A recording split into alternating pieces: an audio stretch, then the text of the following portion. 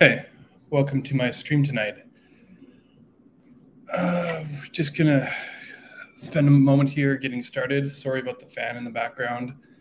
Um, been going like this the last few times. Um, hopefully it's not too loud. Um, come say hi in the comments. Sh show me that you're here. I know there's a bit of a delay, but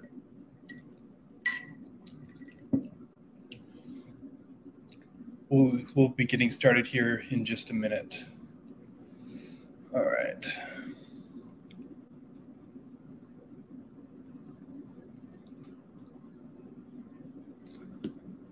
I'm actually pretty excited about this topic here because uh, I'm going to cover um, a technique uh, that's used to render views that was basically the go-to um, for the early days of JavaScript frameworks. Originally, it wasn't expected that uh, that um, you know you'd be running JavaScript on the server. So it was always expected that you'd be running some other backend in HTML, and that um, your JavaScript uh, would you know run on top of that. It was actually hydration first. No. So I'm pretty I'm pretty I'm pretty psyched about about this uh, about this uh, this topic in general. Okay. Anyway, sorry. Actually, give me two two seconds. I'll be back in thirty seconds.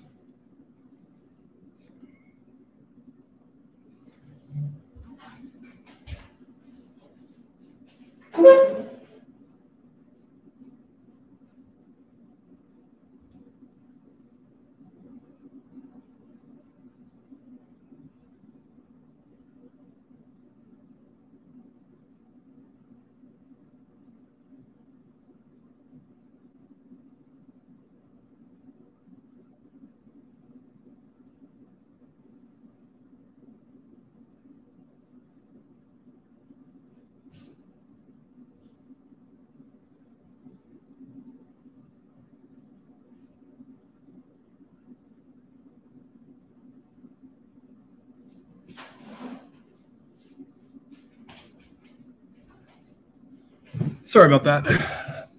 My youngest had a little bit of a thing, so um, he wanted a good night hug. So uh, thank, thank you all for joining the stream. Uh, we can get started here pretty quick. Um, as usual, gonna gonna start uh, talking a little bit about um, this week in JavaScript first.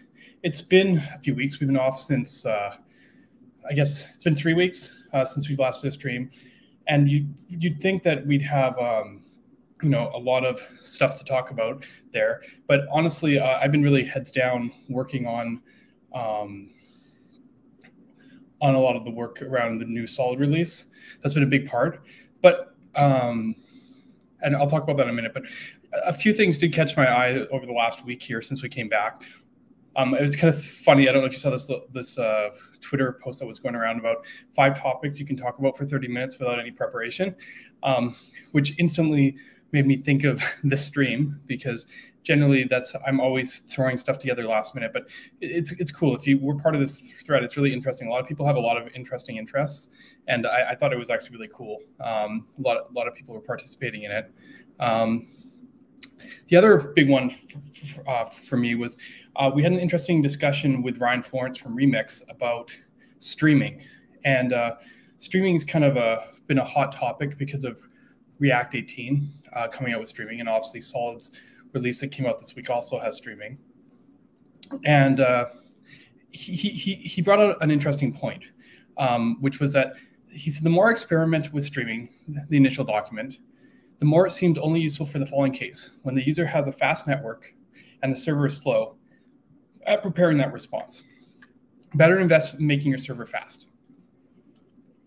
And in some ways, he, he's not wrong like it's the latency to your data that's going to make streaming more apparent, right?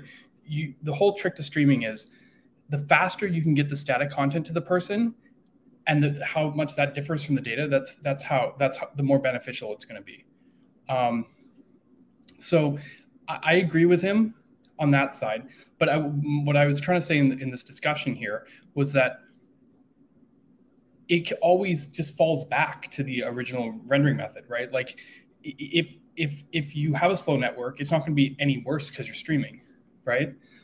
Um, but you know, he brought up the trade-off is the problem with streaming is we have to respond with the headers when we send that first chunk. So if we start streaming the response before we load all the async data, we have to say that it's like 200, even if something might error later. And this causes a lot of, it makes things a lot trickier, right? This is the big trade-off. Um, you might be getting, you know, certain parts of the content sooner, um, but but you're not necessarily going to, you know, know everything up front. Um, Remix has been built off this concept of like fetching all the data up front, knowing what you need based off the nested routing, um, which I think is really, really, really smart. Oh, hi. a bunch more people saying hi in the chat. so many.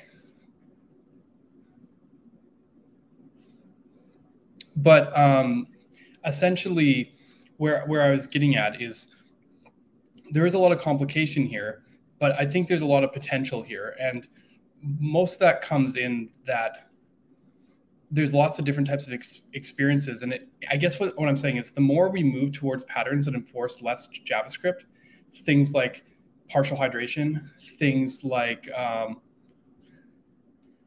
oh, I see. cool. Th- thanks, Theo. More, more like we approach things like partial hydration, more like we approach things um, um, you know uh, react server components streaming starts looking more beneficial right because the more you can push those interactive parts into like islands and things down and have separate pieces coming in the more you're going to notice the difference um, I, I, I made kind of a comment about you know i don't know if you go to the edge aren't you more likely to have faster static response times and slower data response times like and sometimes you're not always in control of your backend. Like sometimes requests take different lengths. Sometimes you're using third-party APIs. So um, essentially, streaming is just kind of this great equalizer in that it makes the worst case better. It, you know, um, and I put up an example and whatnot, and you know, this is kind of an interesting kind of point in general though because it isn't it isn't just like a straight win. My examples are kind of terrible. I show a loading uh, state for like 100 milliseconds and everyone knows that a quick loading state isn't the best user experience. So you know it does take a little bit of uh, cons- consideration that you know these demos that we've been seeing from streaming so far like the react one haven't really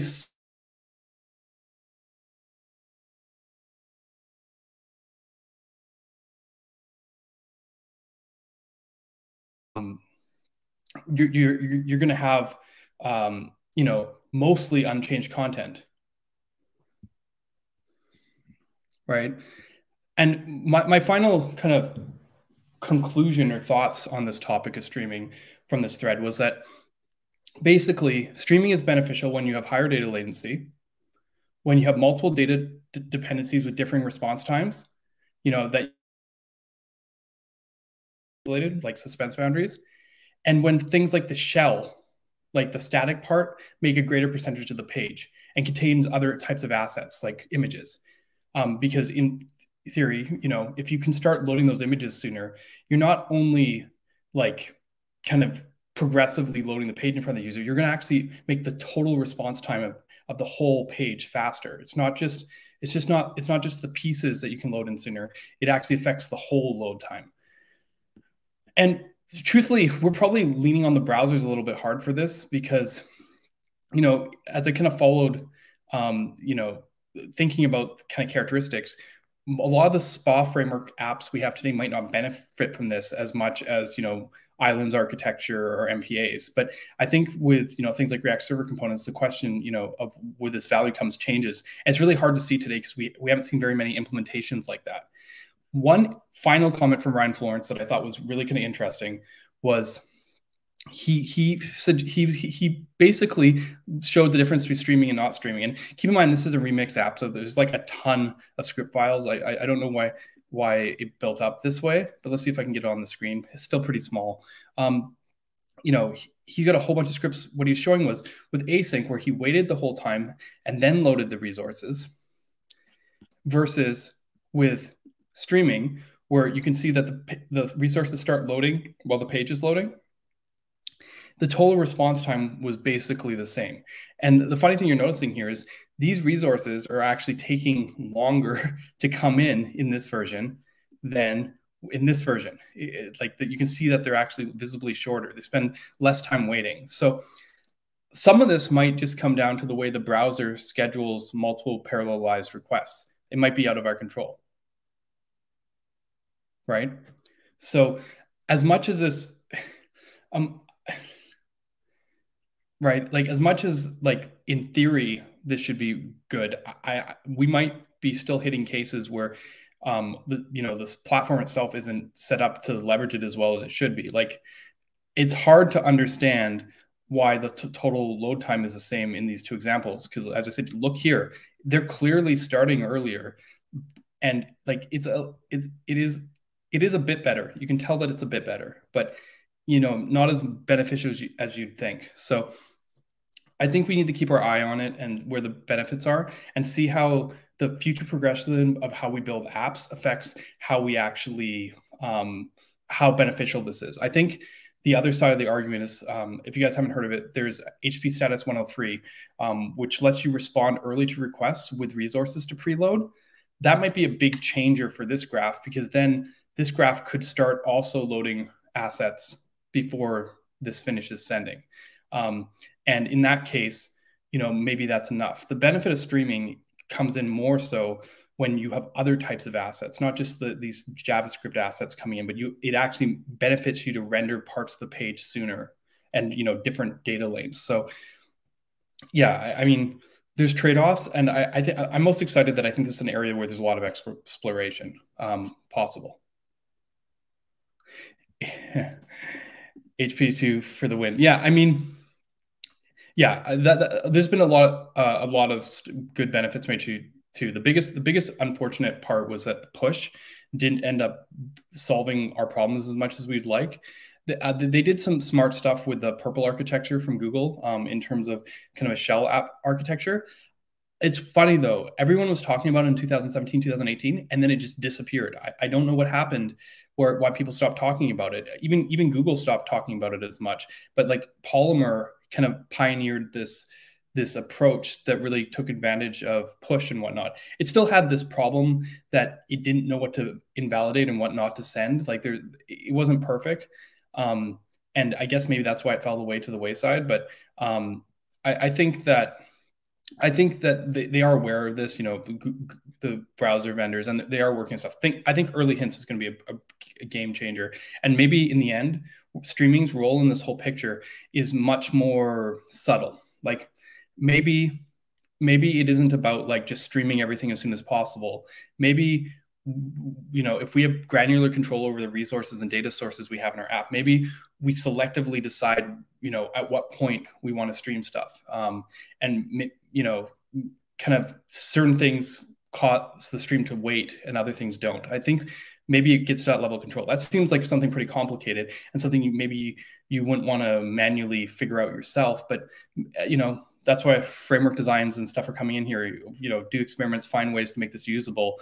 Um, you know, this is a complicated area. There are benefits, but um, maybe it'll take us a while to figure out how to leverage them. That's me speaking optimistically. Realistically, this technology has been around since 1997. So you got to ask yourself why more people aren't using uh, streaming. Um, and because like you know it's been available it's been it's been called the lost art so many times i've lost count the, I, I, I, pulled it up once there's a brian I, was it brian atwood i'm trying to remember jeff atwood yeah article for 2005 where he was already calling it a lost art and then you know when facebook released BigPipe in 2008 or 9 they were still like oh yeah no one's doing this anymore. And same thing with Marko in 2014 and then you know react in 2022 you know. It, we keep on going back to this. It's just I, at a certain point we we want to push the ability what we can do with performance. And maybe maybe it's you know architectural shifts that have this get away from us every time. Um, but i think we're on the precipice of another architectural shift in front end and i i don't know i, I think it's, it's going to be interesting to see if streaming plays a part of it um, some bigger players bigger companies people with you know maybe different needs than the average developer think it's important and have been investing in it. So probably something to take notice of. Yeah, yeah, definitely. I was going to say that's a good, point. Hmm. Ajax, what came out in 2005, and yeah, I mean, I think the problem back then was we just didn't have good tools to use it. I remember using Ajax in like .NET update panels, which was horrific experience. jQuery came in and wrapped it, um, and you know, like.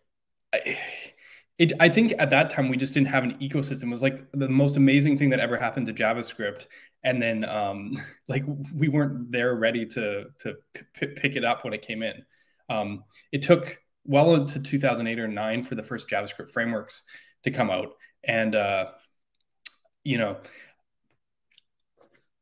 part of that too was the browsers at the time. You got to remember JavaScript was like slow, like really slow back in the day, and it wasn't until 2007 2008 suddenly all these browsers like really invested in it you know um, chrome came out uh, what WebKit. Uh, I'm trying to remember what Mozilla engine was out at that time, but essentially around 2000, 2008, suddenly everyone started investing in their JavaScript engines and they all got like 10 times faster. At the same time Node came out, um, it was just, it was so fast that no one was already in the space. It was, it was kind of funny. Um, as I said, I, I was, I, I jumped on there, but I was like working in .NET and backend stuff at the time. So, you know, it, it was, it was definitely a different time. But what's cool about that whole thing is that different time is basically um, sort of where where I'm thinking of tying into what we're, we're you know talking about today, really, um, because you know I, am going to do a little bit of a what should I call it history lesson um, for a second, kind of as I talk. Um, I'm going to say, but let, us just open a, uh, a co- actually before we before we do this history lesson sorry I'm, I'm getting ahead of myself a bit. Let's let's first just talk about today we're gonna we're gonna look at um, what I was saying uh, building something similar to Petite Vue or Alpine. And if you guys aren't familiar with that um, I let's take a moment and just kind of look and I'll show you what I'm talking about. Because Alpine JS and Petite Vue use a technique that was very prevalent in 2010 2009 period frameworks. And i think that's what makes this kind of interesting because we'll be able to kind of do I, am going to use this an exact as an uh, a chance to basically do a bit of a history lesson while we kind of go through this.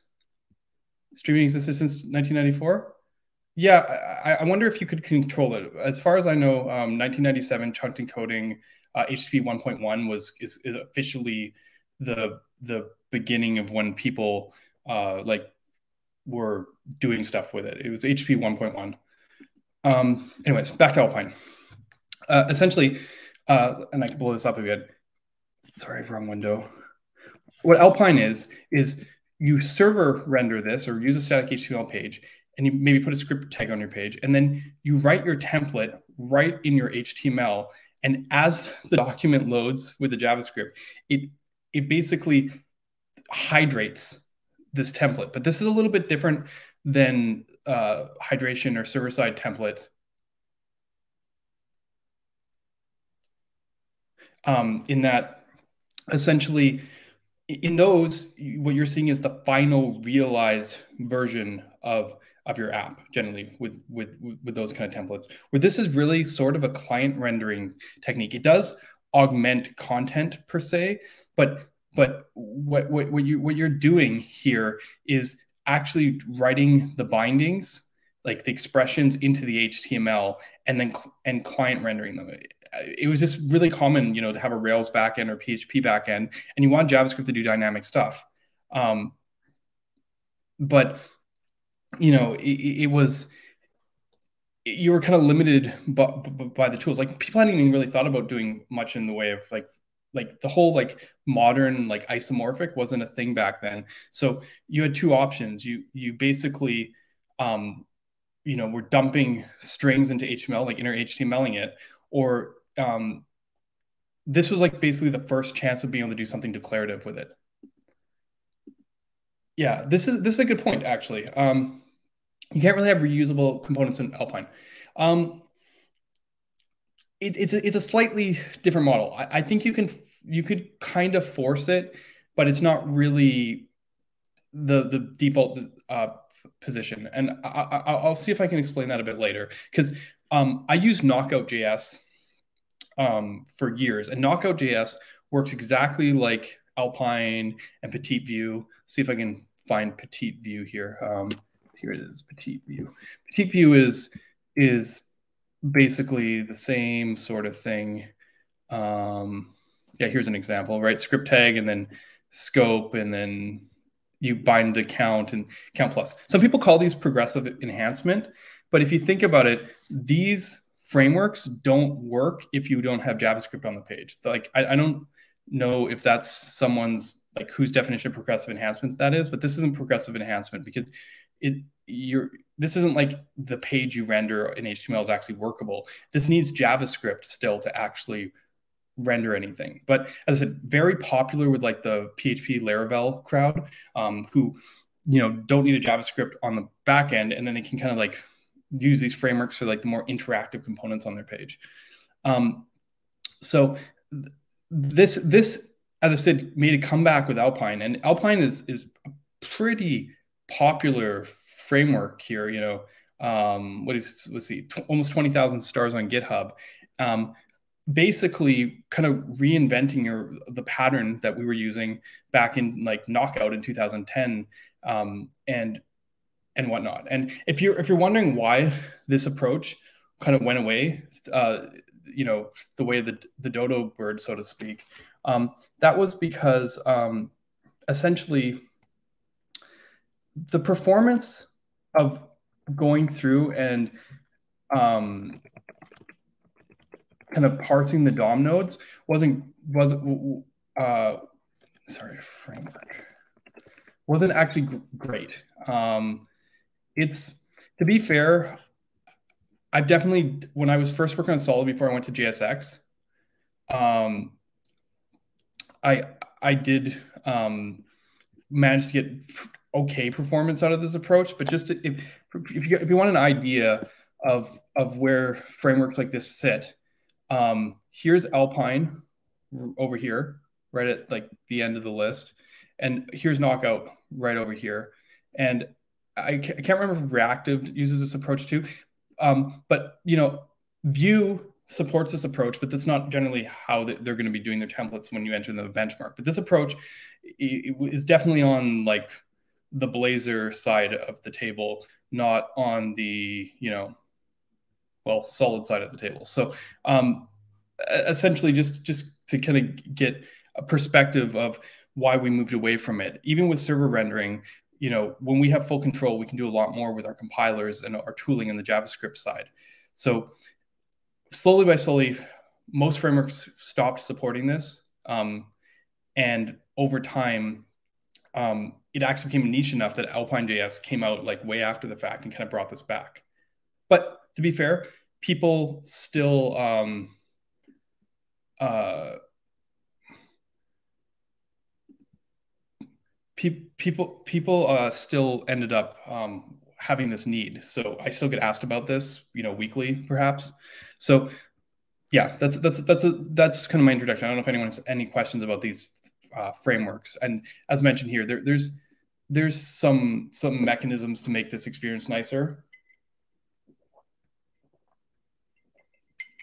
Yeah, and I think that's a pretty powerful one because we're going to see as we kind of go ahead and build this that like we we have to do a few little tricks here to make our experience nice. So um yeah, let's let's let's let's uh sorry, I don't know why there's a solid hacker news demo in the middle of this whole thing.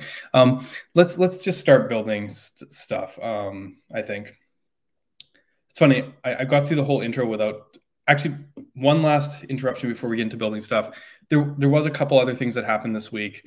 Um more specific um, to oh thank you jacob um, more specific to obviously my my neck of the woods which is solid.js had a couple big announcements so i'll just repeat them here in case you haven't seen them uh, that was interesting um, where are we going here all right first of all, that's that was a promoted ad. Interesting.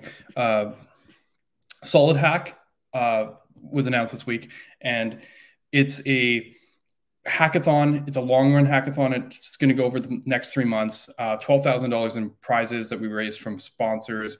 There's basically three different categories, and we're just hoping to kind of energize people building solid projects and checking it out. Um, so really excited about that one. And the other big one is we released 1.3 um, this week, which um, has HTML streaming, like I've been talking about. It has some, some cool tricks with error boundaries to work with streaming and uh, on the server. Um, better support for things like Astro with multiple async hydration routes, and some really cool stuff with uh, third-party uh, reactivity without wrappers, like being able to use MobX directly in your solid views.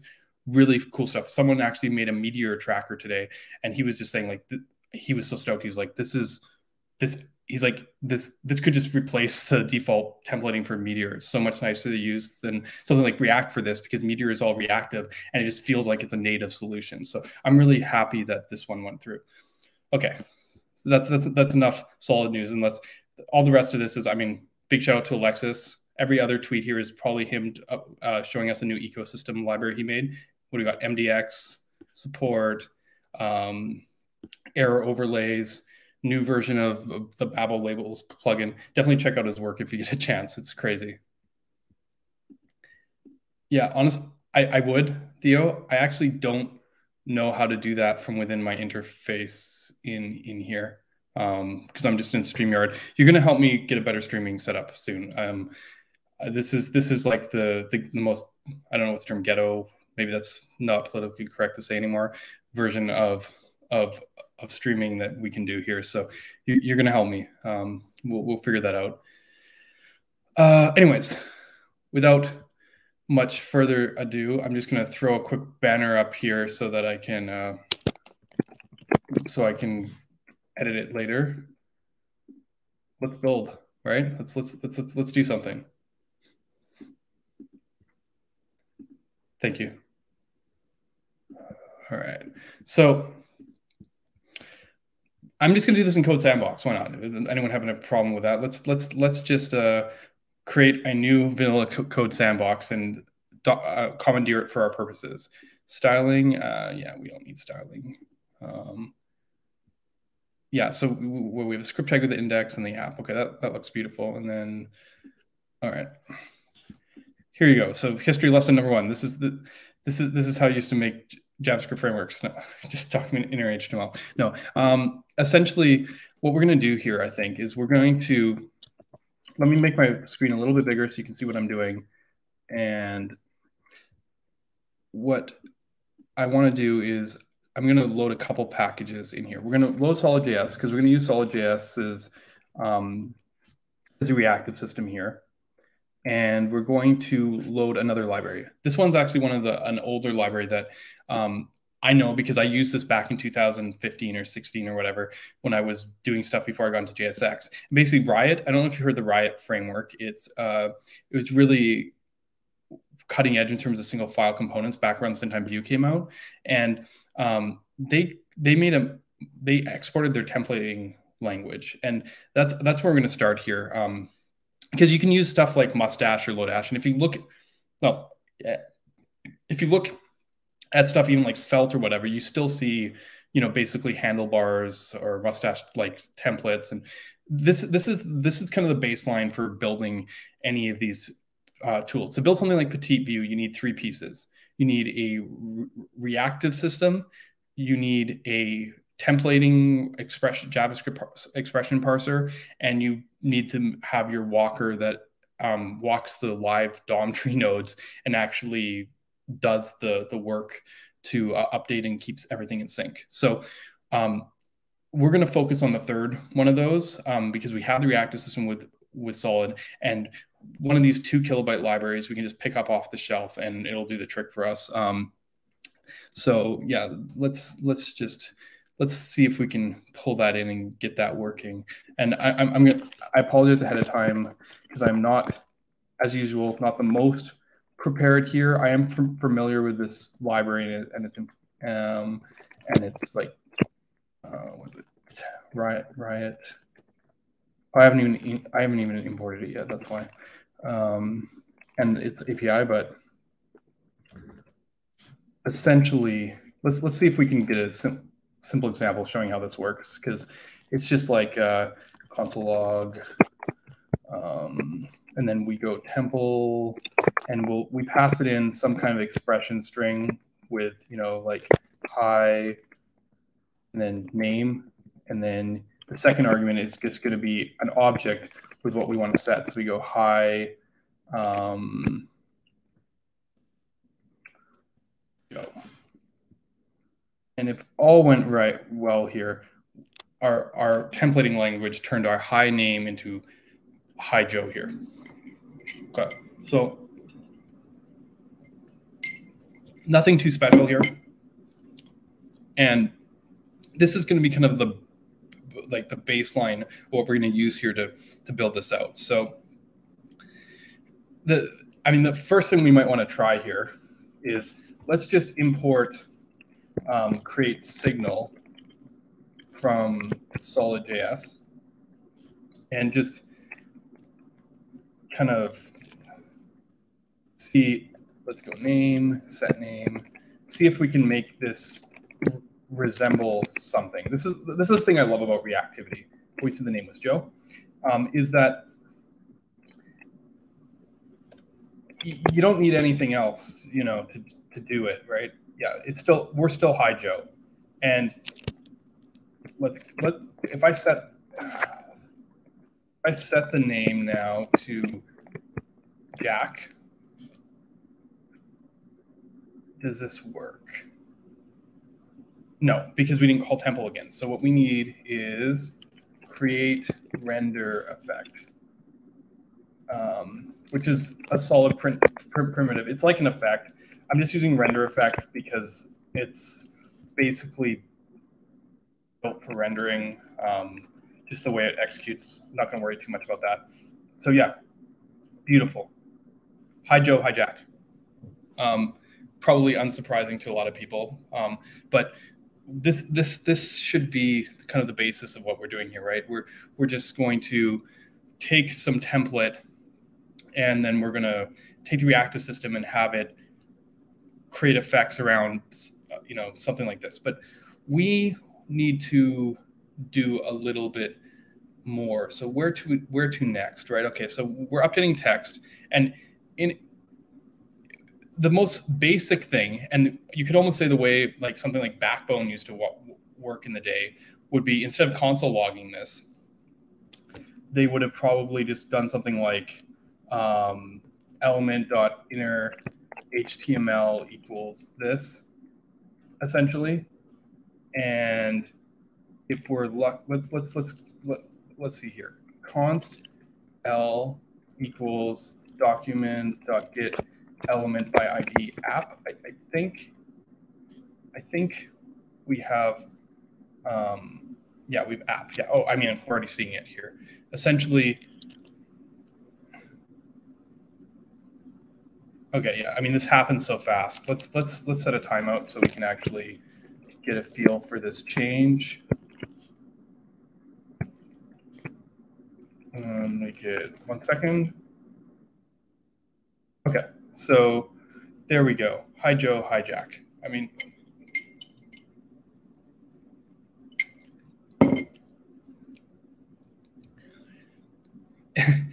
yes. If you go in the console, it's complaining at me. Um, best kept secret.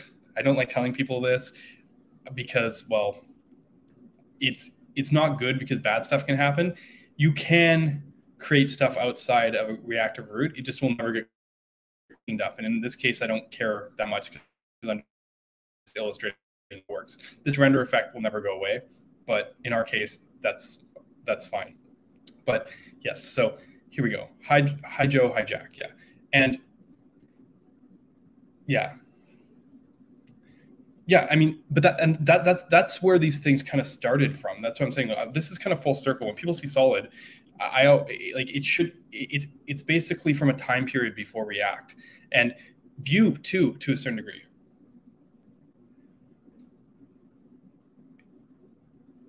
you are correct before 1.3, but in 1.3 I changed it. So now with a normal effect, this does work. I, I did some kind of hacky scheduling thing. So it, it does work now um, because it was confusing people. Again, I, I, I, I'm pretty, I'm going to move on for this for, for a moment, but okay. So now we're, we're rendering and in a sense, we, this, this is 2009. We just, we, we just recreated backbone essentially. I mean, they, they use their models to do it, but essentially this, this is, this is, you, you'd make a view and you picture whatever your view was. And whenever it changed, we would replace it. Like, you know, let's, let's, let's, let's, let's do, let's do this, right? H1, like this, this, this is the first, this is the first version of JavaScript frameworks. Um, this is also kind of really terrible too, because essentially you're recreating this H1 and reinserting it every time through this inner HTML. Um, you can be a little bit smarter than this, which is like the very first time. Actually, with this approach, you can't be smarter. This approach is just dumb. So, you know, we're going to move on from this. So, what the thing is, in a sense, this approach is kind of still alive today because it, things went two different ways. Um, one way is like the fine grained reactive way, which is I'm going to show you today where things went first. But the other way was okay, instead of making real DOM nodes here, let's make fake DOM nodes or, you know, like create some kind of virtualized system and then have it set. And in a sense, those two directions basically spawned or split off from this initial starting point. Um, because at this point, we were just redoing everything. And one group was like, let's just focus on name. And the other group was like, let's make this not expensive. They just took two separating paths at that the early the early days of JavaScript frameworks. So like to like even today to a degree, like how far is this from um, like a lit, like uh, you know, like using a tag template literal, like doing like HTML, like you know, you, you've probably all seen this. You know, how how far how, how far is that from from this?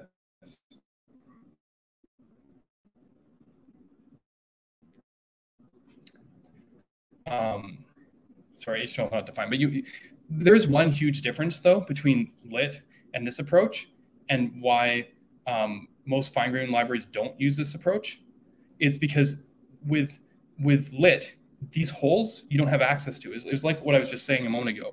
The the fine grained people focused on the holes, and the like VDOM top down people focused on like you know like making this part cheap, making the the part that wasn't the holes cheap, because the difference um, is is this.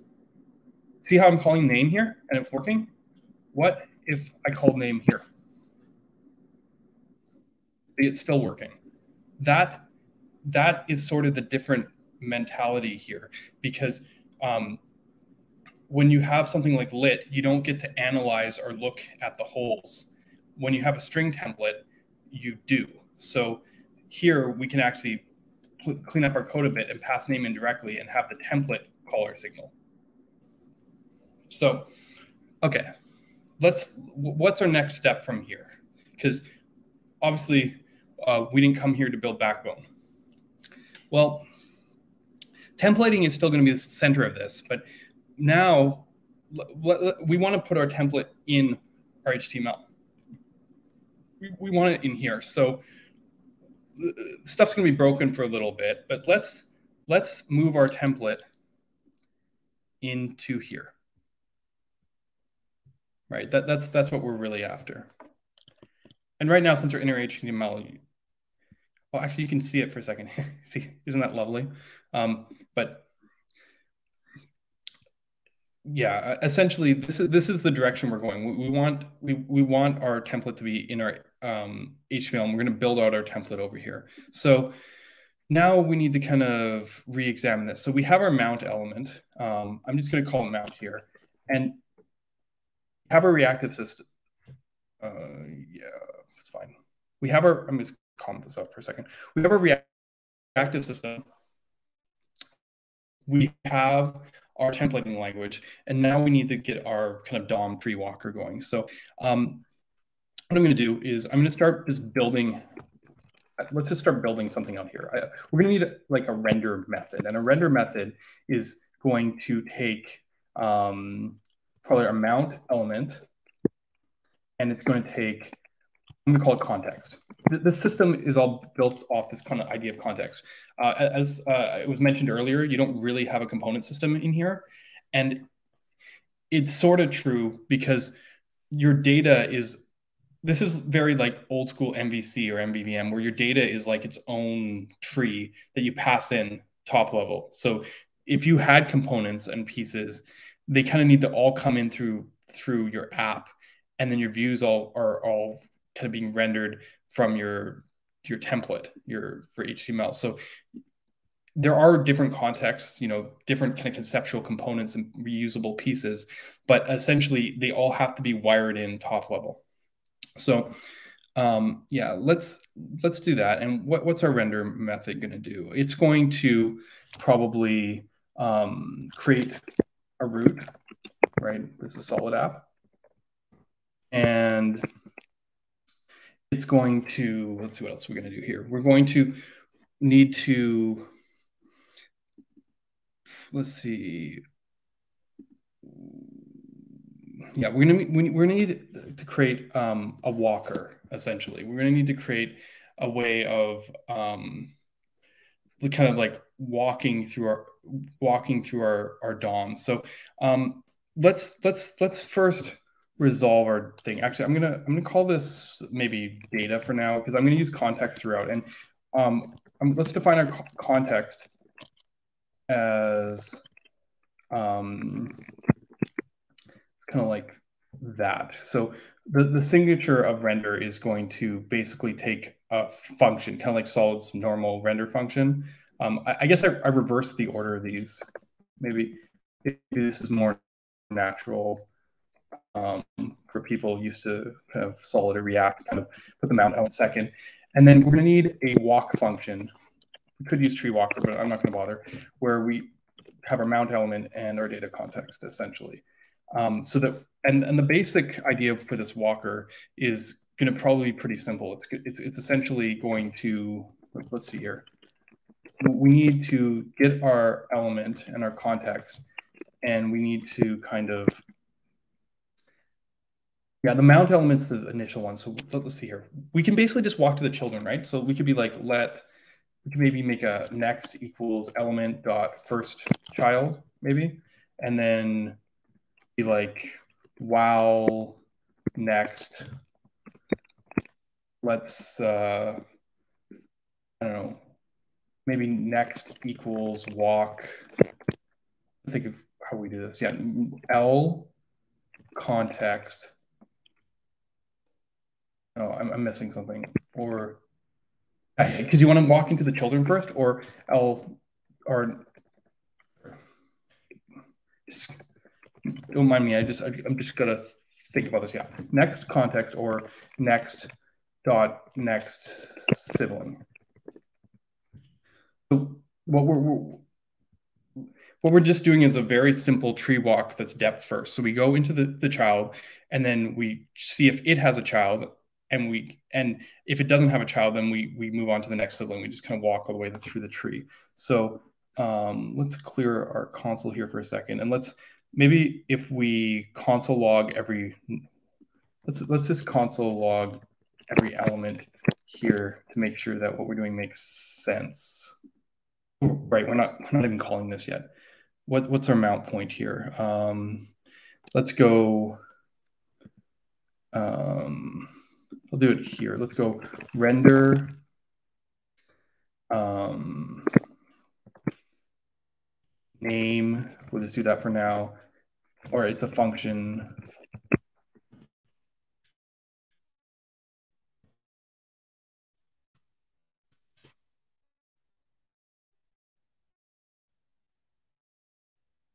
Okay. That looks probably good, right? A root element, then a text element, then our h1 element, and then a text element and another text element. Okay, so essentially, um, yeah, see this text element is the text inside, and then this last text element is the on the outside. So essentially we have, if we're looking at our index HTML, it's because I, I, there's a text element here for like the new line. There's this, the text inside, and then the text here with the new line. So um, our very basic walker appears to be working. Um, all right.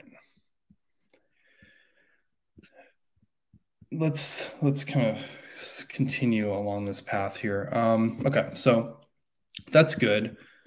What we need to do next, I think, is we need to do some work other than console logging here. So let's um, let's let's figure out. I think it's going to be the work's going to be in here technically. So let's just make like a process node, maybe let's call it. My problem for like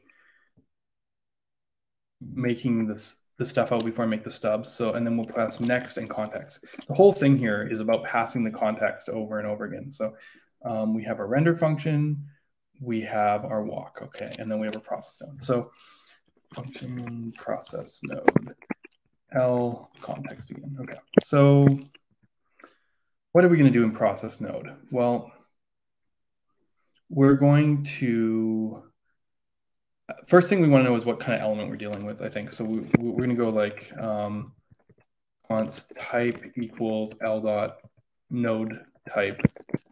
This is, and basically, depending on if it's a text node or uh, uh, other an element, we can do different stuff. So we're going to do like if type equals one, which is an element.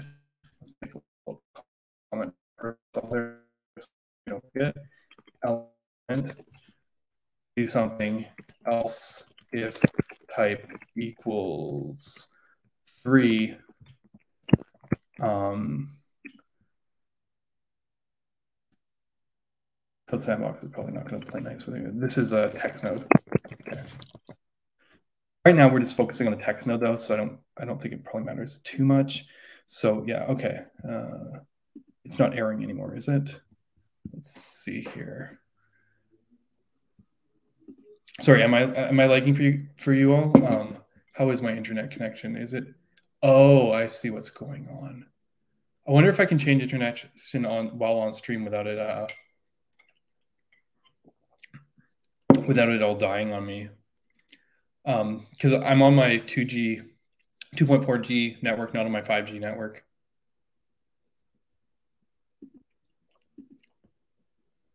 All right. Should I risk it or should we just keep on going?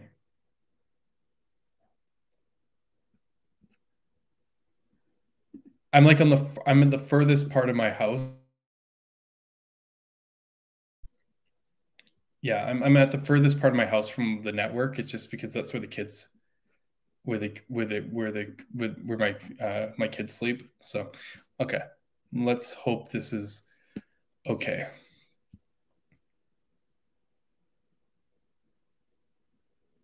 Yeah, yeah, Theo, that was me switching the the network to 5G. 5G has worse um what do you call it? Um distance though. Yeah, I did switch and it didn't kill the stream, but it did blow up for a second, and I think that's what you guys just saw. Sweet. Okay, so let's let's continue with this example. Um, all right, text node. So this is if we get a text node, now, what can we do here? Well, I think the first thing we need to do is um, kind of, let's see here. I, I think Temple, te if I remember, template, they have a nice helper here for us. Let me see if I can find it. best way to learn the docs is go to the tests, right? they, they have two extra helpers that I think are help, going to help us here. The, the one I'm looking for is like a has key or something, or is is expression or something. Just a second. Try expression.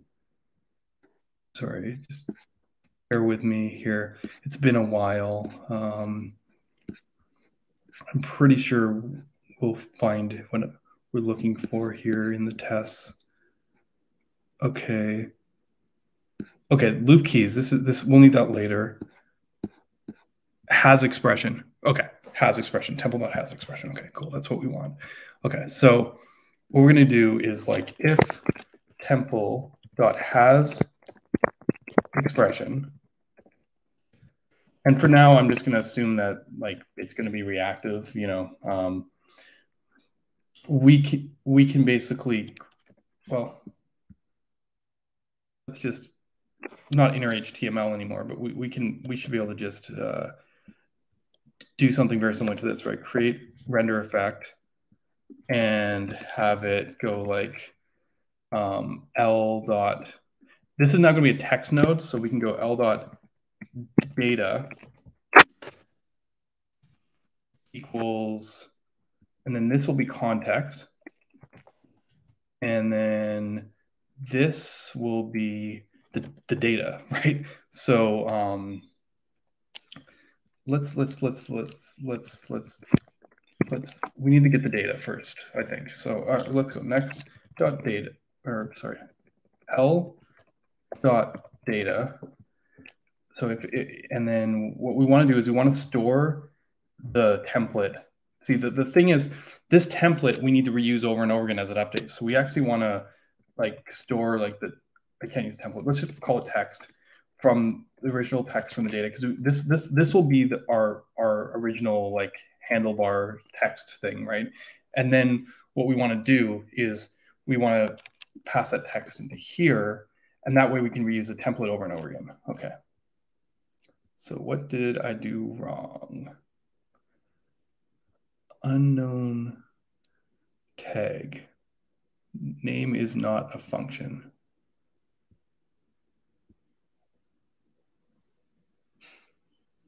Interesting.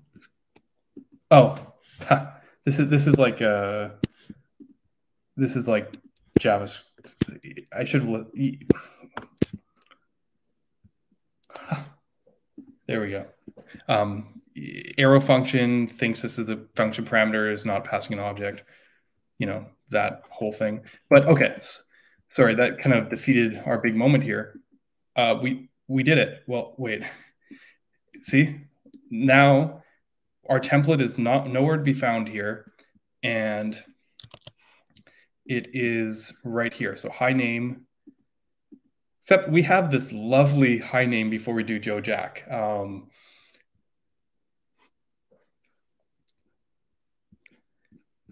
yes, some great comments here. Thank you. Um, uh, you're right. The way I did the walk was so that return next. Luckily, there's only one element right now.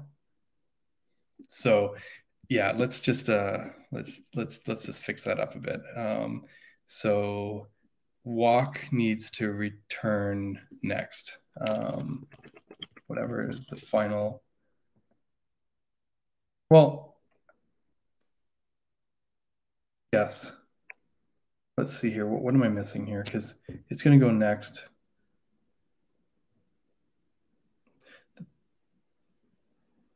Yeah, it, it's not next though that it it needs to return yeah, that's actually a good point. We need to think about this for a second because the problem is it, it's going to keep on going until it's exhausted itself through all its children. So when it comes, when it, the only time we need it is actually when it goes into the first child, which means that's the only time we need it to actually actually return um, that first child.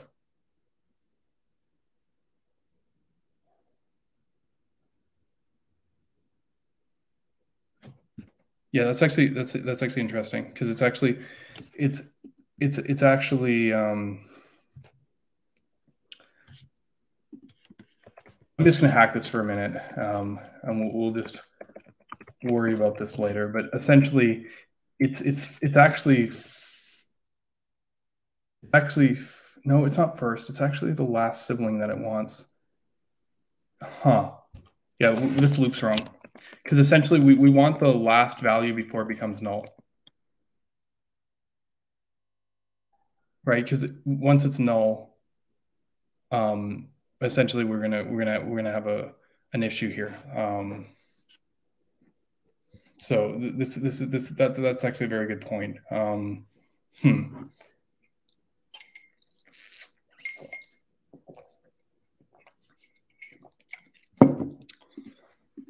Right now, well, yeah, okay. Hmm. The funny thing is nothing's breaking yet. So part of me wants to continue until we actually break something, but uh, essentially it's almost like we want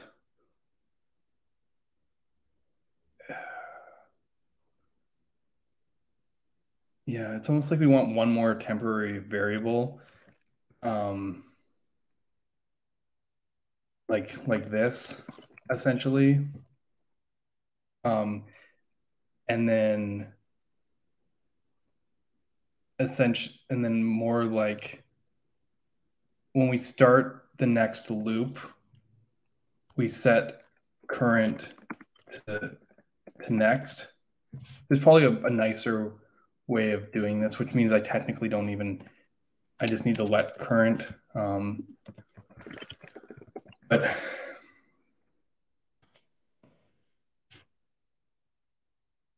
and then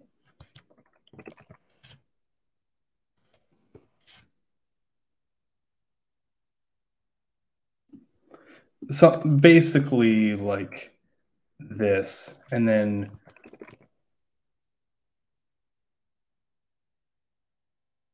if it, if it returns null null and then it'll null itself out and okay. I, I, let's let's leave it at this for now. I, I think this is essentially oh there, did i just break it? No. Yeah here we go. Okay. So the first thing you're to notice right here is this is ugly. Like what the hell is this right? And this is what they all used to do. They all used to flicker really terribly um, because you, your server would render the template and you would see that template. Um, so we actually get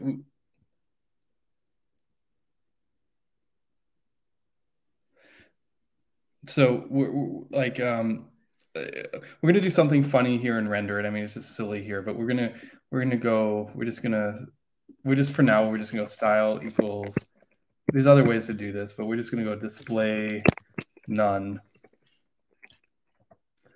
And then in our render function, we're to take the mount element, style, display equals, uh, their default, I don't know, let's just do block for a second and make sure I'm not insane. Okay, there we go. Beautiful. Got rid of showing the template. And I can probably do this at the end.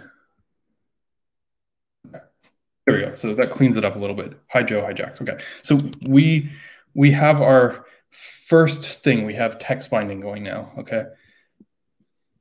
Yeah. This is, I, I as I said, I believe there's probably better. Um, I'm going to remember this and come back to it if I broke something later. But let's let's just kind of.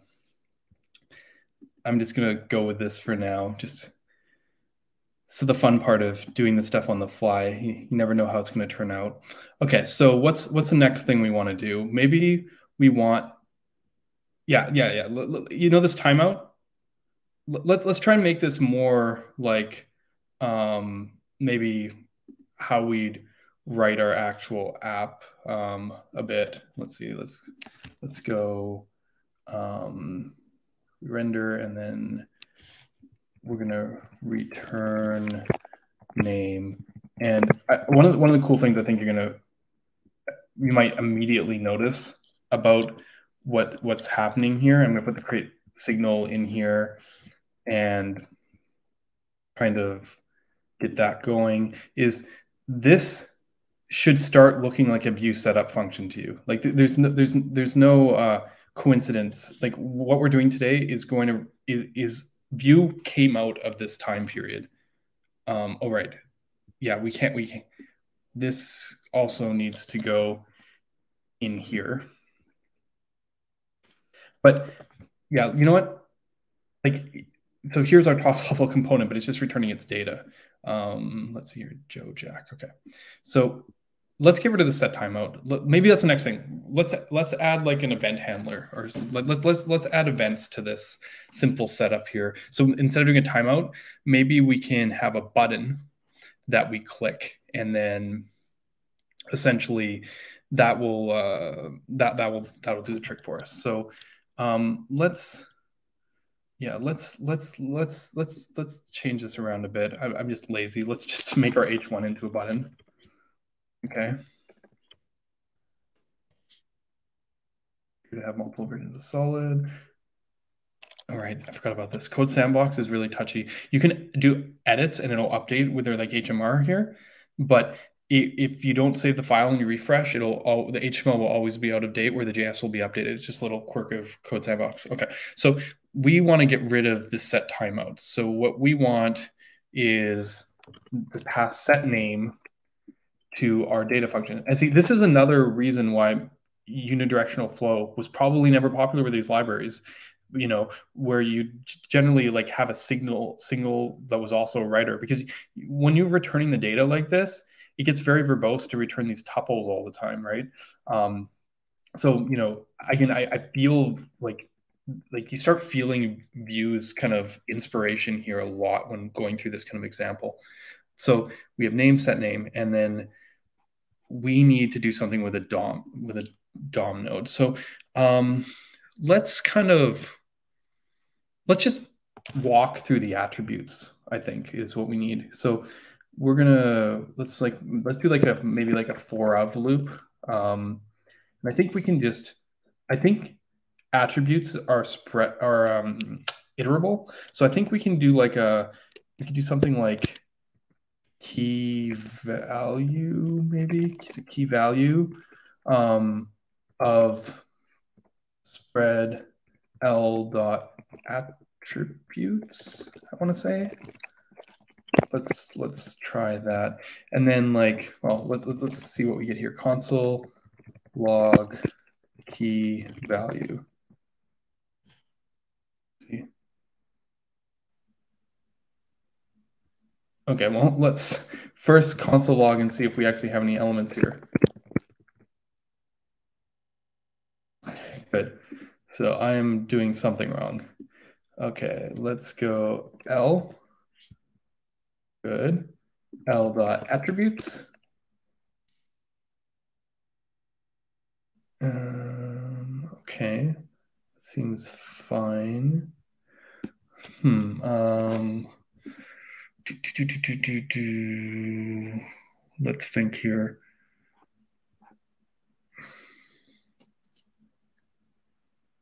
Hmm. Okay. Let's see if it is actually iterating something here. Maybe if I put like a string here, we'll see it.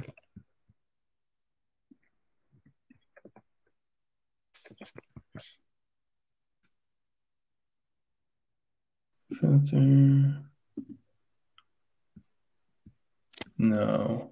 Okay, so, hmm, well, actually, I got rid of that console log too soon. Let's an empty array.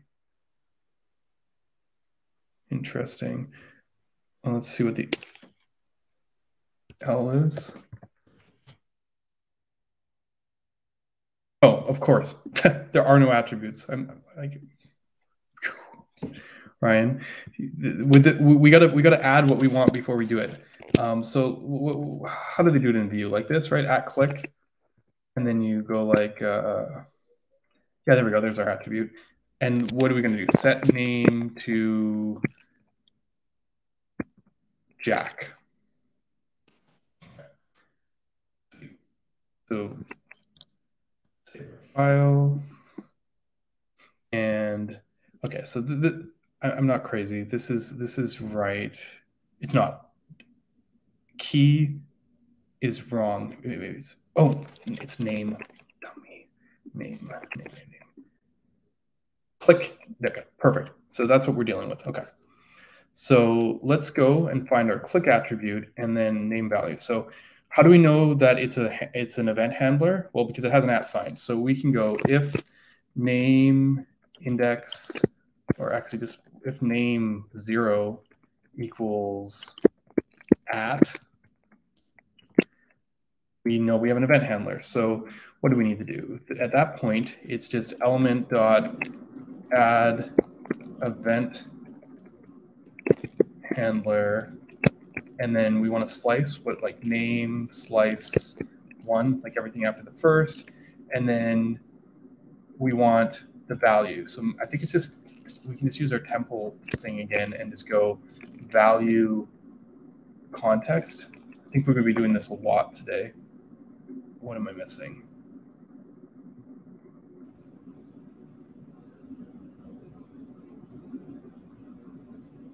Is not a function. What am I doing here? This is the fun part. Uh, oh, it's event listener. God, why, why am I tired this week?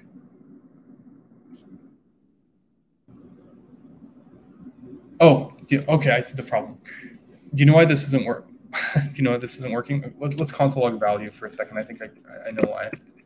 It's because I didn't wrap it in our in our nice little uh, curly braces. But I think we don't need to do the curly braces here because we have the at sign. So I think this is slicker. So why don't we just, um, why don't we, yeah, why don't we, yeah, see, yeah, there's no at sign here. Or why don't we just change this slightly so it's like, uh, like let's just add the brackets around it here like that. All right. It's, oh, right, because I need to make it a function. Nice, it works. So we load it, draw hi Joe, we click it, it turns to hi Jack. Okay, sweet, yeah. I'm just sloppy tonight. Thank you, thank you.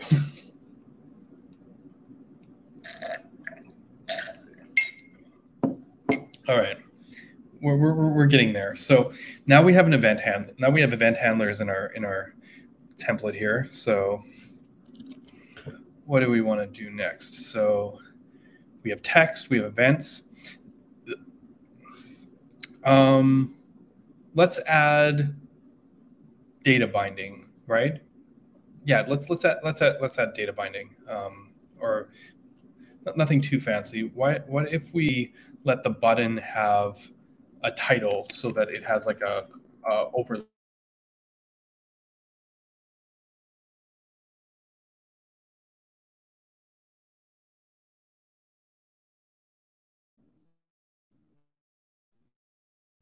remember Vue. What do they do? Yeah, they're not going to show me here. Let's colon. Let's just go with colon. It doesn't really matter. We can change the delimiter later if we don't if we don't like make it a dollar sign. Let's let's let's make another template. One of the cool things here is because we're using these kind of delimiter characters, we don't actually have to leverage the interpolation characters here. So let's make it. I mean, get. Let's just use name again. Um, let's just go like hola um, name. So. And right now, when we hover it, or maybe I have to save the template. Oh, right, because this isn't actual title. This is, yeah, you know what? We should probably clean up after ourselves too, because it occurs to me when I when I, when we look at this, we're gonna see the at click on there still. We probably don't want that. Just like we have this title. The reason we're not seeing the title is because it has a colon in front of it. It's not. It's not. It's not. You know, interfering with the other one, but it's also like completely unnecessary. So we almost want a pattern where we actually um, remove these, um, essentially. Um, but let's let's. It's not probably not a big deal. Let's. Yeah, if here we can we can go. Uh, L dot um, remove attribute. I'm not even iterating it. You know, let's let's let's just click doesn't clicks nice notification. Let's not worry about that. Let's do let's do another one. Let's go if name zero equals colon. So now we're going to do the data binding case. This one's kind of a cross between the other two because um, we're going to want to make a, a, render effect again, essentially, for here. And this time it's a date data. We're going to go set attribute. Um,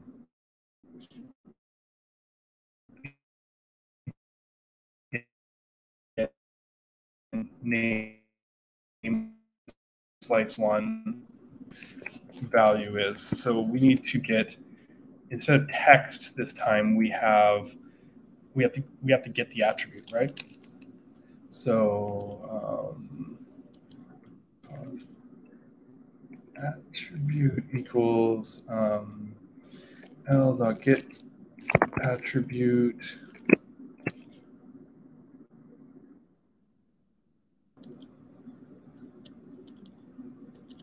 I guess I'll do that too, const.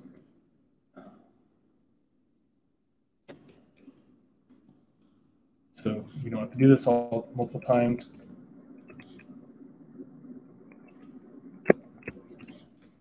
And then this value is now our new template.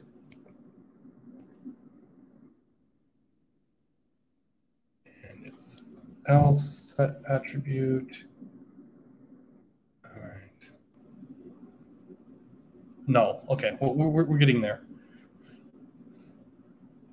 No. Okay. Beautiful. So we are setting a title. We're just not setting the right one. Uh, let's let's see here. Um, why are we not setting the right one? And while we're at it, we probably should go um, L dot remove attribute um, attribute name.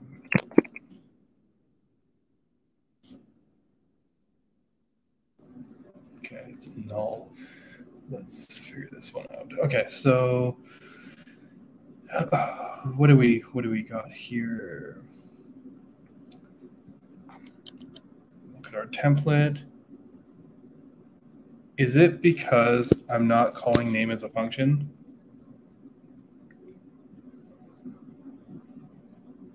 No. Okay. It was or actually let's double check, but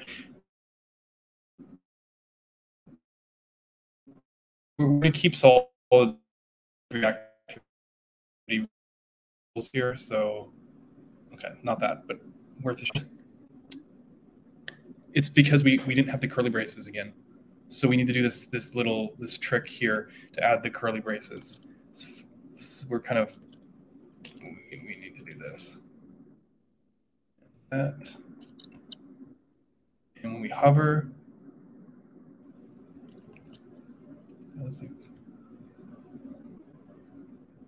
okay, still not working. Okay, let's let's look at what we're dealing with here. Have after context. Oh, sweet. Okay, so adder is nothing. Okay, so that's our problem. We don't, what I'm doing here is wrong.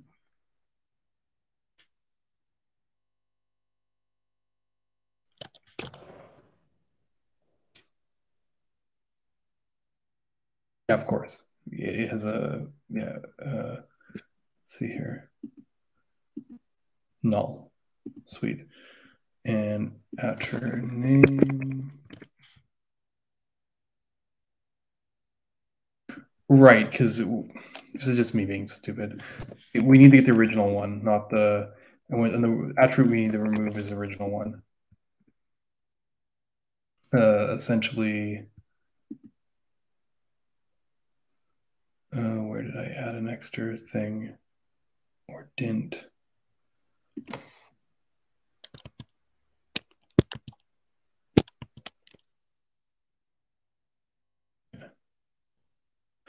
So it, we want to get the original name. Why does that break it?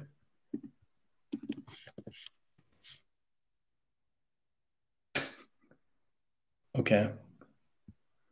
And then we want to, but that's, that's better. We're,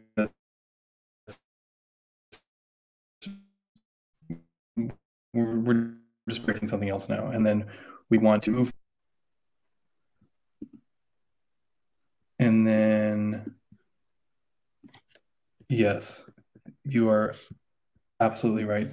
This one doesn't actually need the wrapper because we are using interpolation. I am, I'm not, I, I've got, I, for some reason, I, yeah, for some reason I just wasn't, yeah. Ola Joe, click, Ola Jack, yeah.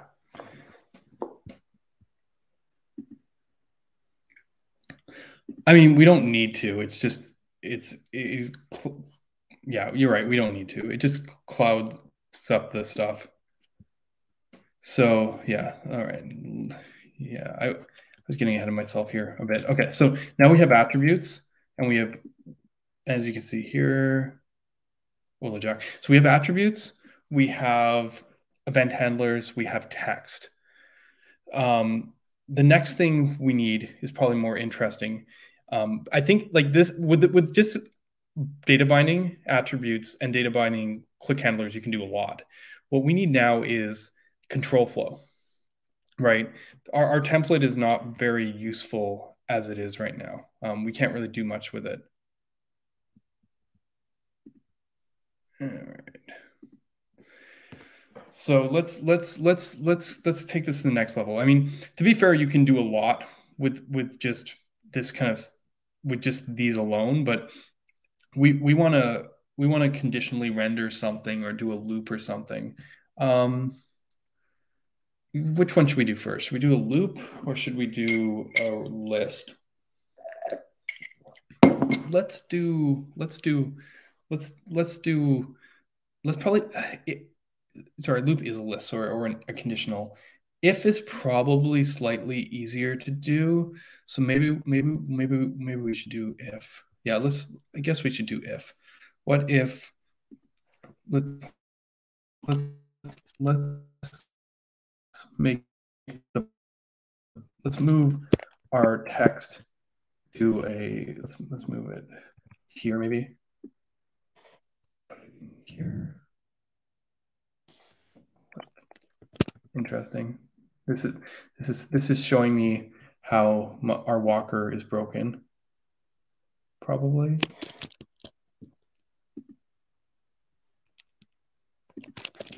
Yeah, so maybe we should fix that up first.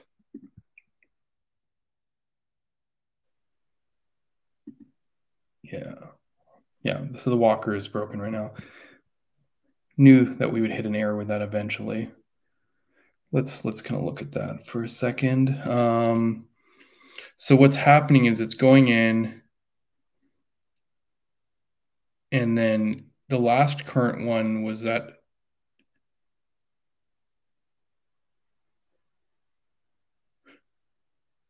That's interesting. Yeah, that's the, the my maybe my walk mentality here is just is just wrong because like go next. Yeah. My I think I I think I don't I, I think I just was yeah, or I could use TreeWalker. Yeah. I think I think I I think I think I was just thinking about this maybe a little bit wrong because this this this seems to work here. Um,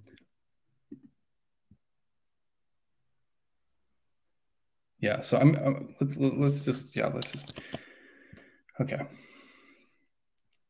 let's just continue on here okay so what if we wanted to see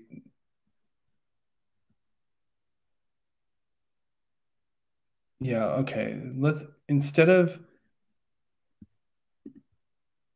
I mean, we can just leave this here too, because let's just keep on going. But let's add another signal, maybe like a visible sig signal, like visible set visible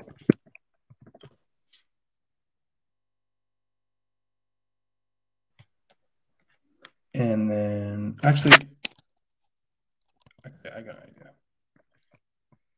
We won't do that. We'll, do, we'll just we'll just keep it like this for a moment. Um, and let's just let's let's just do something silly where we're like only show this. So let's let's let's invent something. S if you know it was a B if or something. If um, our condition will be if name is bigger than name dot length is bigger than two. So the idea here is when it's Joe, it won't show the high, but then when we click it to Jack, it'll be bigger than two and then it'll show it. The way the directives work is you put them on the element and it's the element itself that actually uh, goes in and out. So yeah, yeah, let's let's just do that. Okay. And then now we need some different logic here because the way um, the directives work is actually a little bit interesting because because it reuses the node like I was talking about, you actually have to cache and handle a node completely separate from this like loop we're doing here. Like it, it, it kind of pulls it out. So we actually have to special case the directives before we do the attribute loops because we're, we're not we're actually going to not process the um, we're not going to process the attributes uh, right away. Um, we're going to actually wait until they get inserted because it's potential them not getting inserted. So it's more like we first have to go go like if uh, l dot get attribute or maybe maybe has has attribute S4 or whatever we want to call it, then we do some logic and it's actually going to happen beforehand. So we need to do a little work here. Essentially, we need to be able to um, cache the node. Um, I think so.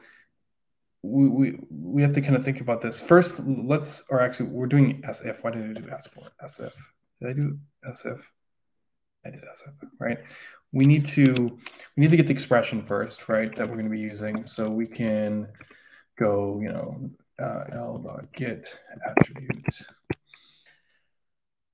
if, and then what else do we need to do? We need to we need to ultimately remove it.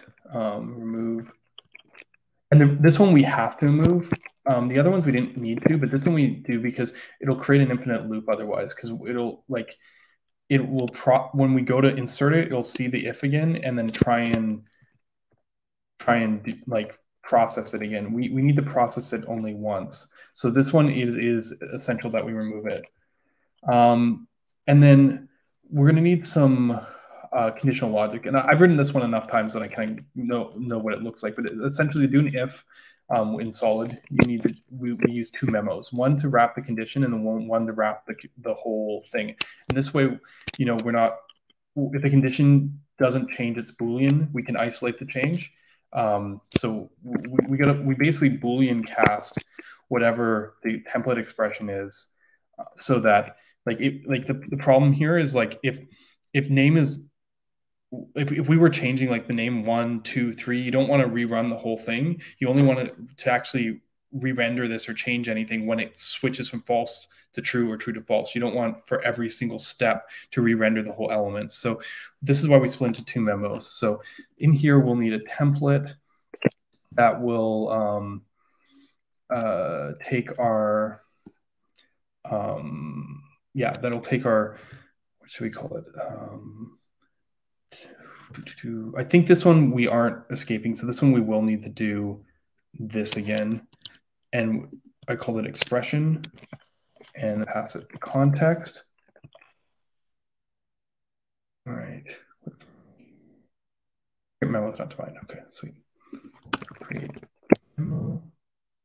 And then the next thing besides that is we're going to need to actually write our conditional logic, which will be another memo, I'm thinking. Um, let's call it, what do you call it? Like show. Yeah, basically like our. And then in this one, we read from our condition. So I guess get our value, right? Const, where, do we already have value in the scope? Maybe we don't, whatever. Const value equals our condition, and then um, basically our actual condition statement. So if there's a value, do some stuff, else, um, well, actually there's no else, we, else we just return nothing, right? Um, and then finally, we're going we're going to want to insert it in the DOM. Um, hmm. Yeah, we have a few options here. Since we're using solid, I'm how are we doing for time? It depends on how far I want to I want to implement this. Okay, we're at 125 and I still want to do the for loop. Yeah, no, I'm I'm going I'm going to I'm going to actually since this I'm going to do this. Um, if we have time, we'll get back to this. But I'm going. I'm going to. I'm going to pull uh, insert from Solid.js web, um, which. Uh, hell is? Why am I? That was really weird. I don't know why there's a TypeScript file showing up here. Insert from Solid.js web, and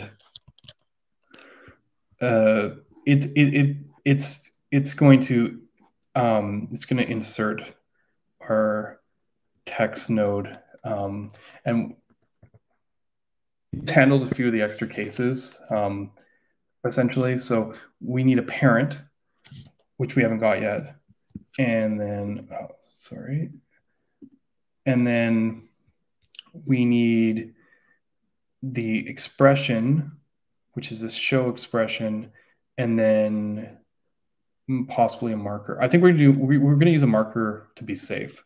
So okay, so that probably doesn't mean a ton to any of you right now. So let me explain what I'm what we're gonna do. First, we need to get our parent node. So before we we we're we're doing anything here, we need let's just let's just get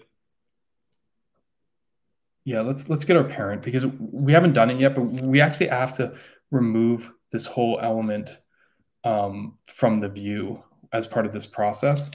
So pretty early up here, we probably want to um, get the parent before we remove it from the view. So we'll be like L dot parent node, and then so we're going to insert in our parent, and then we are going to have our accessor, which is show, and then we're going to have a marker. And what the marker is just going to be a text node. So we're going to go, this will just keep track. So when we're, as we're adding and removing stuff, we have uh, an anchor so that um, it knows like where to insert it. You can think of this as basically a fancy insert before. I just know that this handles a few edge cases that, so I didn't want like, I could probably just do insert before here and it probably just work, but this handles the reactivity resolution a, a bit. So okay, let's let's let's go. So let's uh, marker um, is marker equals document dot create text node, and then we're gonna go maybe maybe replace with. Let's go L. This is a newer DOM API, but I've just been I, I I've just been loving this one recently. See, now it's gone, which is right. The, the reason we had to do that, and actually before we do that, we should cast stash it. Um, I mean, we don't have to, I guess. Actually, we don't have to because we, we, we always have this L now. The, re, the I'm not explaining myself the best here, I, I, admit. So if you have questions, do throw them in the chat. But essentially, we kind of like in the same way that we had to keep this text around to know what the template is, we have to keep the element around um, because what, what we're going to be doing is every time that it's true, we're going. Our first thing is we're going to make our new node, and we're going to do that by cloning it.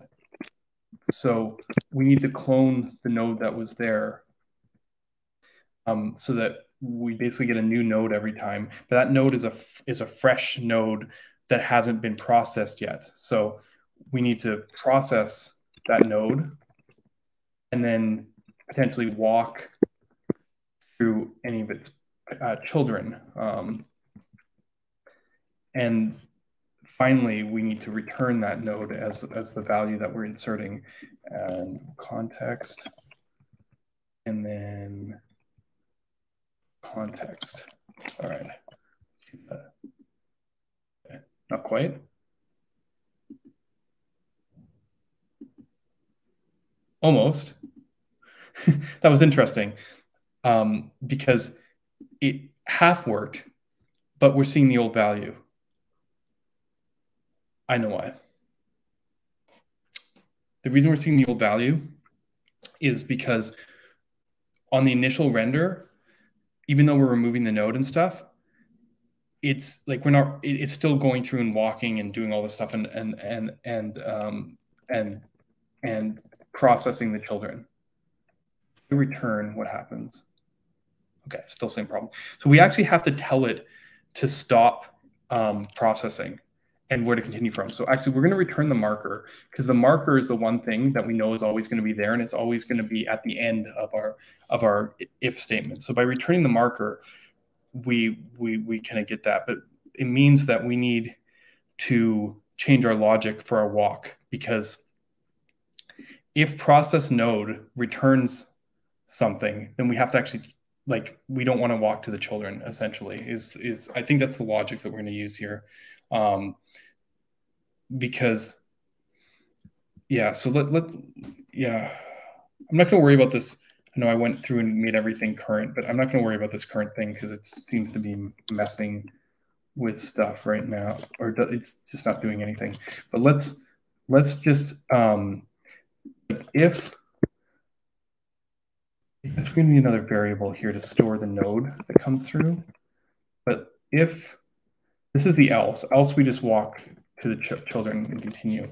But if if there is something there, we need to we need to kind of continue to the next sibling and skip over the children essentially. So let's let's just I don't know, let's call it something else. Let's call it stop. I, I know that's probably a terrible name, but stop equals this, then next needs to become stops next sibling. So it's walking to the sibling, not to the children. And then we clear it. Okay. Ooh, Code Sandbox just loves this. Like, oh, right, it doesn't like assigning in an if statement. Well, whatever, boohoo. Yeah, it works. Okay. Yeah. Yeah. Um, essentially, we needed if, if if we're processing a directive, we don't want to walk into the children because what we do is we we hoist out. We actually grab the original element, the one that had you know all of this stuff and all the templating stuff and we save it for later essentially we we we we just hold on to it in this closure essentially so that when we go to render it we get to process it for the first time here. And actually, if these were ever nested, we probably don't want to walk the children if there's like another if there's like layered directives like ifs and fours on the same element or something. So let's let's see if that that does what we want. Yeah, okay. Okay, so this is basically what a for directive looks like. It's a little bit complicated, I suppose, but this is this is essentially how we how how we would do a conditional in our template. Um, let's see here. Huh, yeah, that, that definitely took a little bit of mental gymnastics. Um, let's let's do a loop next. I I, I think um, that's yeah. I, I think that's probably the loops the the the the other primary one. I think if if you have a conditional and you have a loop and you have attributes and you have text and you have event handlers, I think you actually have all the basics to build most like simple type demo type things. So let's try and make a let's let's let's try and make something there. Is there any value in the if using clone node when you're not looking at having any components in the system? Hmm, that's an interesting question. So you're saying just like insert, well, mostly it's because like we're, Oh, yeah, I see what you're saying because you're not making a new context. So you could actually just keep keep it bound all the time and then have it updating off the screen. I get the for needs it, and actually now I'm realizing it needs it because of that. Yeah, yeah, like using them in combination. Yeah, that's a good point. Yeah, let's do for. I think for is probably like the.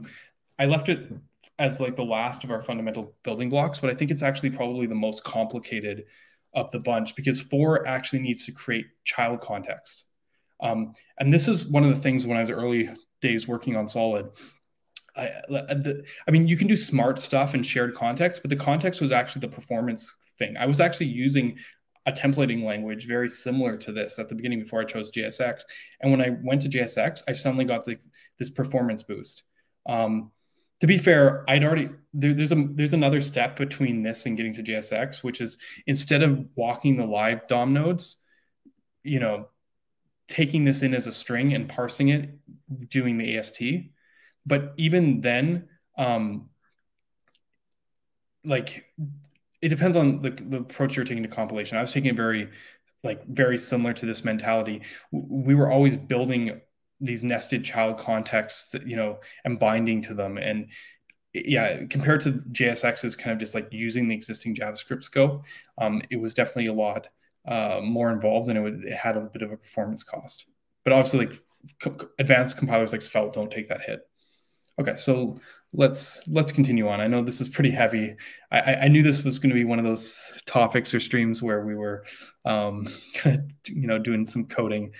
Uh, definitely requires some thinking. So okay, so we have if, and I think if is like the higher level one. So let's, like we did last time, let's build what we want to build before we, uh, like make what we want to build before we make it, so that um, we can like see the stuff. So let's go into our index template and let's we have a conditional with p.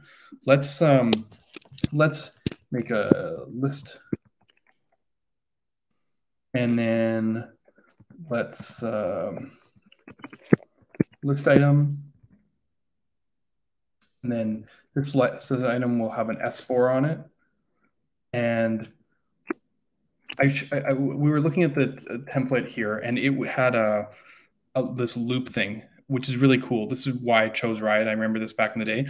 It actually supports like these kind of syntaxes, like the key in. So I'm not going to worry about the index so much. We're just going to be key and I. That's what let's let's let's build towards that at first as a first step. So let's go.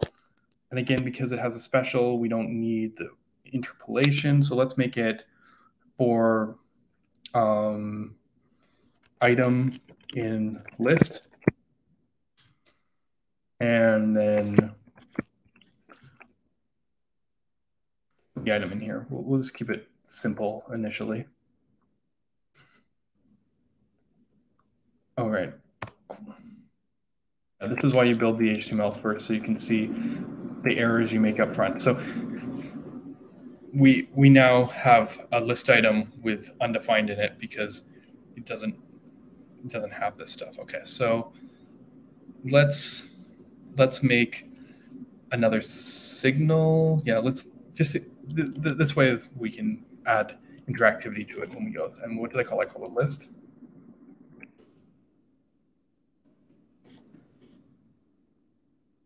And let's initialize our list to apple, banana,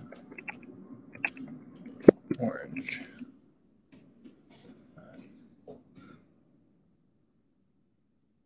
And again, And I see why Vue has helpers for their setup functions. If you're always like, I mean, they don't have the the the the, the tuples, but like you're you're always like declaring it and then like passing it to like out of the function like this. So, okay, so set name has already been declared. Oh, that's probably just out of date. Beautiful. Okay, so it's our our for loop's going to work somewhat similar to this, right? We're gonna we're gonna we're gonna do this, and okay, so do we have for, and then similarly we're gonna get our expression, and we're gonna remove it, and we're probably gonna get the pair. In fact, I think we're probably gonna do almost all of this right off the bat. I mean, it's going to be for this time, but we're probably going to do all of this. Okay, and then then is where things kind of change up a bit. Um, hmm. So, hmm. I guess we probably want to get like the information about the for loop first. So let's let's let's let's kind of let's look at that. Return this just as I can. Okay, sweet. Um, so that information actually it's it's probably return marker again, isn't it? Yeah. Okay. That that information is going to be from that helper I was saying. So let, us just console log it. Um, was temple dot loop keys um, expression. Okay, I mean, oh, it's because we need to put our delimiter on it again. Beautiful. So key item in value list. Okay, yeah, that's useful because it actually puts the parentheses back in for you. It's actually actually they, they built it in a pretty smart way in that sense to actually kind of help on that. All right, so let's see here how that how this is going to work. So we know we, we get our let's just destructure the key and value key and val actually out of this. Uh, key val and race. Okay, cool, cool. Now, uh, in some ways, this one might actually be a little bit easier because mapping is a common thing you have to do in a reactive system, even without Vue code. So, if you if you have a reactive map function, we could probably we can just use that straight up here, right? So we can go, um, what do you call it?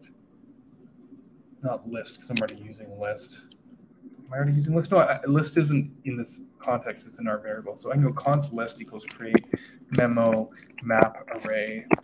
And then our map array takes an accessor, which is going to be our expression for the val, I think. So it's going to be temple val and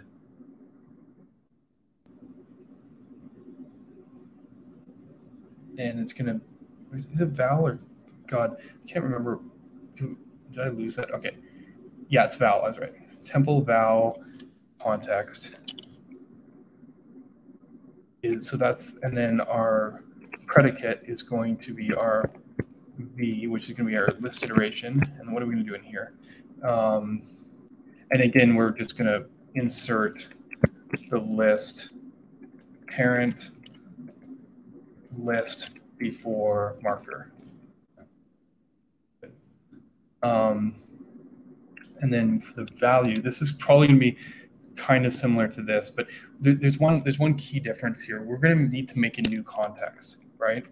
Um, because now context has changed, and uh, I'm trying to think of the best way to do this because we have the key, which is the item. So now we need we need um, to, we need to basically assign the value from the loop iteration to the keyword item. So our context has an item because that's what we that key or whatever is what we call it here. We need to we need to have items so that when this processes, it has item, right?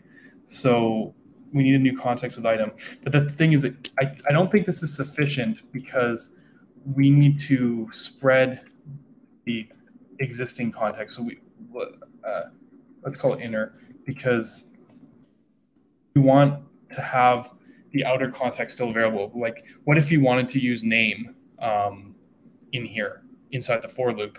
You you don't. If I just made the new context, so we, we actually need to make sure to get name in the in the in the context as well. So we're gonna we're gonna spread it. Um, so we have inner context key. So just if you want to see what what that looks like, let's see if we can console login, see if we're on the right track here. Name is a signal, set name, listener bound, and then we have a new item, orange. Yeah. So essentially we took the existing context and we added the new key value onto it. Okay, nice. And then uh, what are we going to do next? Uh, we need to clone our node, right?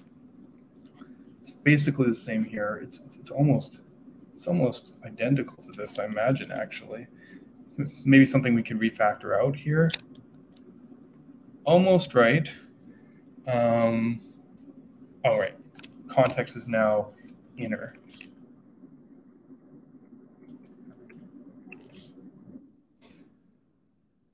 All right.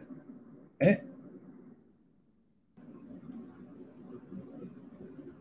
All right. Okay so we're displaying our, our, our list. Um, let's make sure it's reactive though. Let's make sure like that we did this right. So what if we go in our template and instead of the button setting the name to Jack, it um, we we we we oh, I'm just gonna add Jack to the name. Was it set list?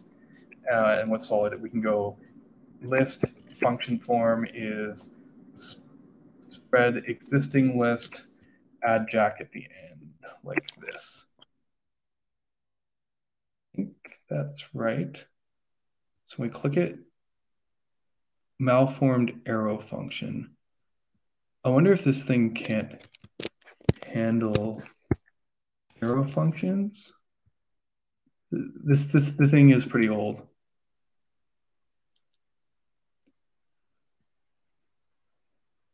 Huh. That's fun. Um, you know what? Okay. So this this is probably the fun part of of of having this. Let's make it. Let's let's just make like a new. Um, I'm going to pass this in. Unfortunately, it looks like we we found we we found the limit of our of our uh, of our templating language here. So let's make a new add um, thing and let's so let's let's maybe it says set list we'll do like add value equals set list um, l list spread list value. Something like that. Yeah and there we go. Now we add jack. Okay. So okay. Our our our 2015 template language isn't a, isn't a perfect fit with modern arrow functions. So maybe maybe maybe we need to do some work on our parser side. Hmm. Okay. It's I'm pretty sure when I was doing this last with solid, maybe arrow functions weren't as prevalent back then. I wonder if anyone ever opened an issue on here, but yeah, okay, it's it's cool. So we have a conditional that works and we have an array. And let's actually double check that our list works properly, that we're not doing something really stupid here, right? Let's, let's look here because we have a bunch of elements, marker, marker, marker, marker. And then when I click add, it should add an, what's, why is there another UL there? Interesting. Are we not removing something? Okay, let, us let's just try Click add.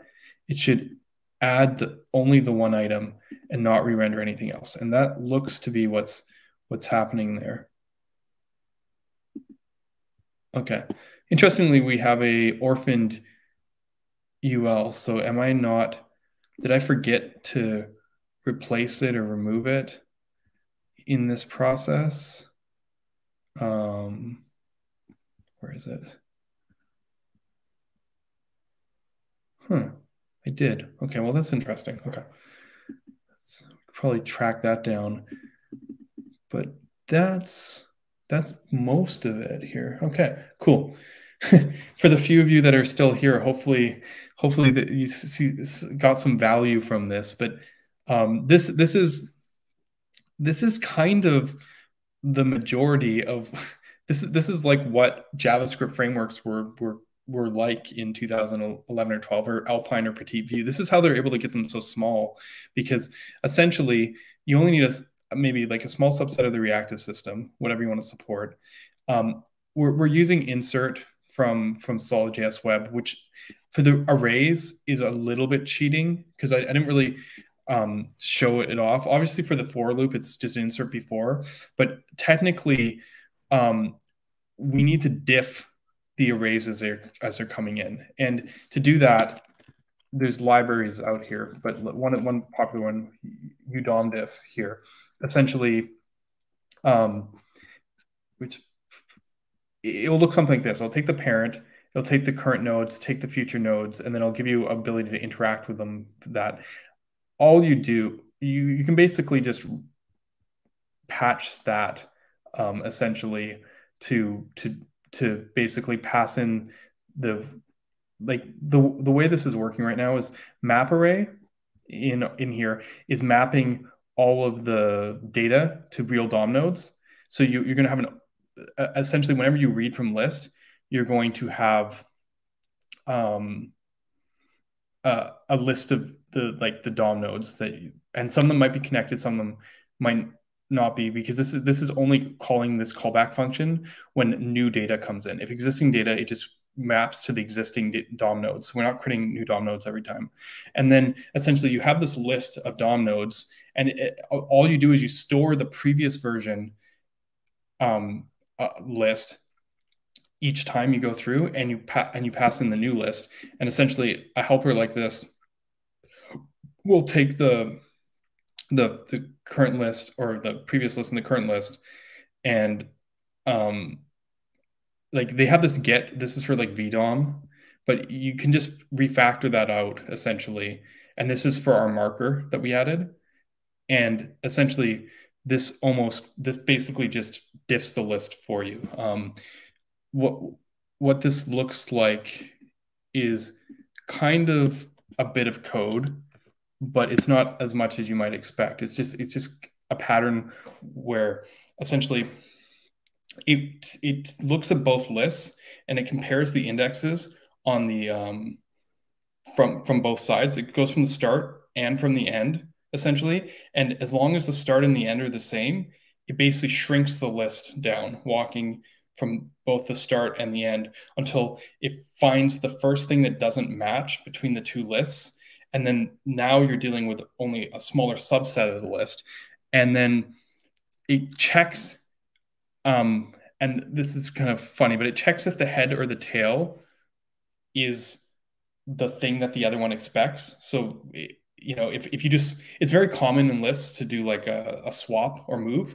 So if, if your operation is only on a single node, um, you know, where you moved or swapped them, quite often when you hit that thing, it will the end will be the start or the start will be the end of the other one. So it just quickly checks that and swaps and then continues on shrinking it. And finally, if if if, if it just fails through those kind of simple swaps and shrinking, um, it starts essentially adding um, this is the else statement here, adding them to a map and then checking if um, if if if if it has that node already and repositioning them with a map. So this, this is a little bit more advanced. You could have just done the whole thing with a map, and it's a smaller algorithm, um, but it ends up um, being a little bit slower because it's not optimized for the fast path. There's there's some really smart ones. Uh, stage zero um, uh, he kind of generalized it. So if you ever like want to build your own framework, um, sorry, not this one, this one, stage zero from free six to 113, um, he actually remade um, the the version of the reconcile that you'd use for keyed. He has reuse nodes, which is unkeyed, and he has reconcile which is like the referential one that like solid uses. That doesn't use keyed but is the same as keyed. He actually has all three versions here using a, a, a, much bigger algorithm but very similar but this is the fastest least move it's called um uh, it's called the LIS algorithm um uh, which is i always mess it up it's like longest um damn it why do i never get the name of it right something sequence. Um, it's like longest increasing, longest increasing subsequence. Um, and this lets us basically identify um, the the smallest pieces that we can re replace. And and by algorithmically if you do the changes in in in this order um, going from the longest of the sequences to the shortest it's it's the least possible theoretical moves for any kind of sorting. Um, so uh, we were using this before we actually went to the slightly more brute force simple one because it was faster for the majority of cases but um, again, this is this is a good good algorithm to use. When you look at most UI frameworks, the, they're they're actually fairly dumb here. Um, to be fair, so like this one might be the the smartest for like a completely random shuffle. UDOMDiff handles decently well because it optimizes the common cases and then it kind of defaults. And then if you just use the map straight, like if you ever, I don't know if I want to pull it out right now, but like Svelte has a very very small diffing algorithm. It's less performant, but I mean, for the most part, you're not going to.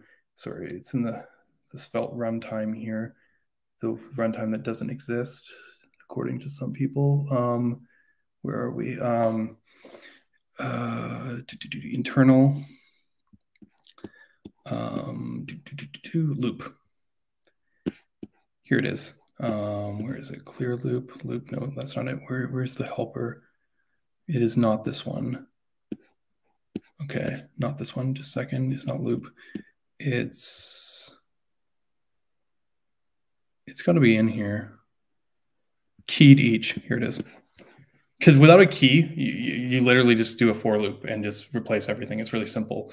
Um, but um, essentially, yeah, this version is you just use two maps and then you just kind of while loop and do the maps and it's it's it's uh it's it's pretty small like there's the insert and stuff here but the actual diffing algorithm is just update key to each it's just yeah well, actually it goes to here it's not it's not the smallest but it's yeah it's like 100 lines of code instead of 300 lines of code versus like some of the bigger ones which are like uh uh, you know, a, a, you know, a little bigger than that. So, um, the great thing is all these uh, libraries that do this are out there. So, like most of the time, there's a certain type of person who works and perfects these. Like the creator of ivi, uh, Boris Kaul, you know, works through, comes up with the best algorithm. Every then everyone else just uses it. Like if you look in the VDOM libraries, like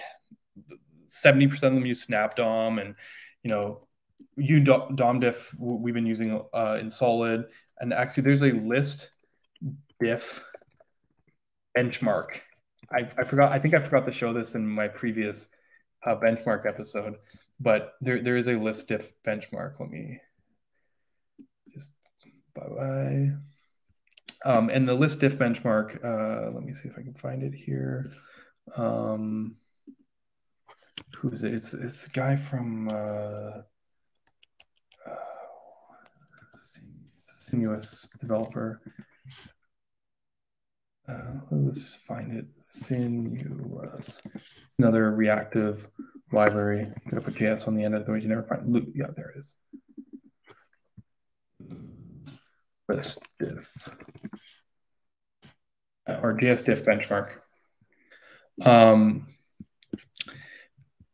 everyone's probably using like a version of this. Stage zero is basically the ivi algorithm, and you can see the size of the algorithm, and then there's like a comparison chart for a bunch of different uh, things. So I, I saved us the time of going through and re-implementing this or you know making it work to our things. But that's just what the, solid insert thing goes. Like if it's an array, do the diff. If it's a simple value, insert around the marker. It, basically, I kind of saved us from going through this, but essentially um, you know, this this looks a lot like the JS framework benchmark because a lot of lists it, just tests a lot of different lists things. The only thing is this this benchmark doesn't test the cost of the DOM, so it unfairly make it only tests the overhead of of the like JavaScript part, which is a little bit unfair um, to some of the algorithms because like stage zero for I forget which one. There's a, there's like a sort or swap one.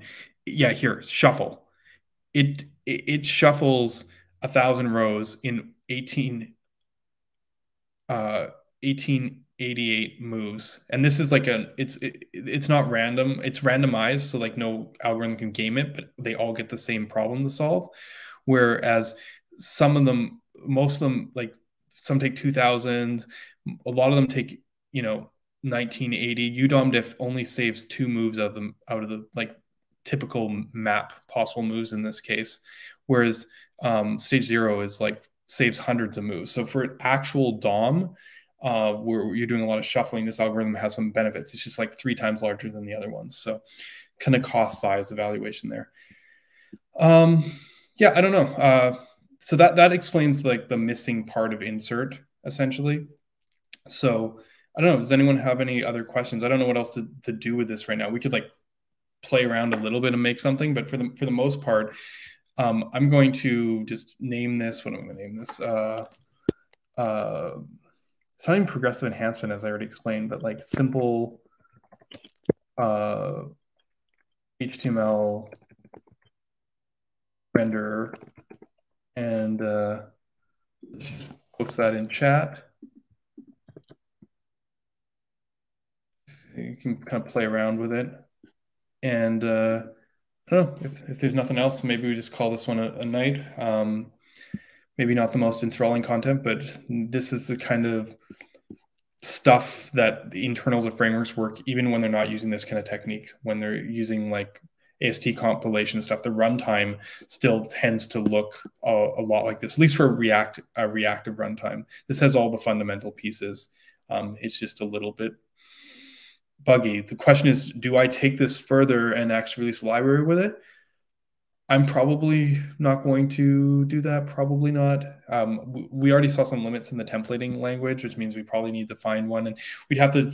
We probably want to make sure that it's small, so we'd have the performance, um, you know, benchmark it and look at like the different stuff. But this, this, uh, hopefully, you know, if, if you ever felt like you know getting started and building your own frameworks, this could be, you know, uh, a little bit of a lesson to you. Okay.